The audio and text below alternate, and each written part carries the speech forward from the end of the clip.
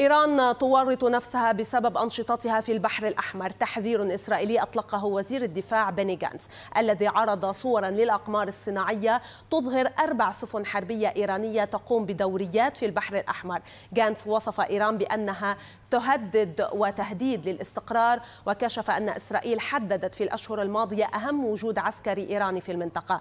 بدوره حذر رئيس الوزراء الإسرائيلي ياير لبيد من أن إسرائيل لن تغض النظر عن تسليح إيران لحزب الله بالصواريخ والمسيرات. مسؤول إسرائيلي حمل حزب الله مسؤولية حرمان لبنان من ثرواته وقال إن الشركات تحجم عن التنقيب بثروات لبنان البحرية بسبب حزب الله.